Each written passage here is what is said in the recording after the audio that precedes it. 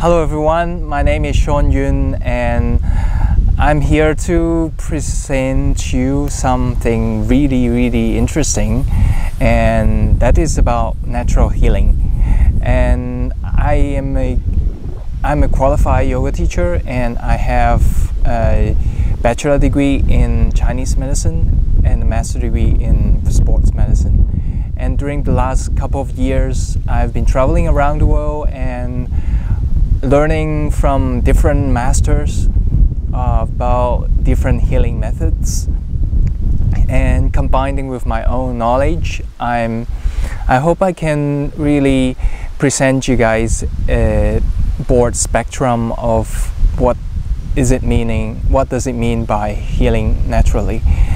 Uh, in the last couple of years I didn't have any sicknesses and even though if I have some little bit discomfort I use most of the time I use uh, natural remedies and acupressure or exercise in order to heal myself. And so I would like to introduce you all these things uh, in the next uh, in my website as well as YouTube videos so I hope you guys will enjoy it. And the topics will be include will include um, exercise yoga and tai chi that I practice and food what kind of natural food that we should uh, consume more in order to have a healthy life.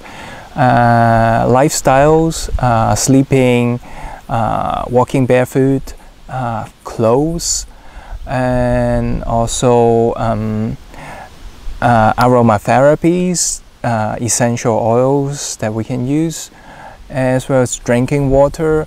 Yeah, a lot of lot of different things we can we can do uh, on our own to prevent us from from getting sick and live a happy life.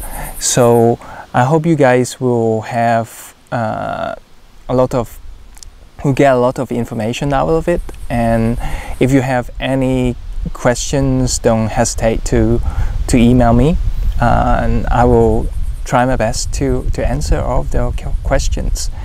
And I hope you enjoy my videos and my informations and and I wish you all happy and healthy life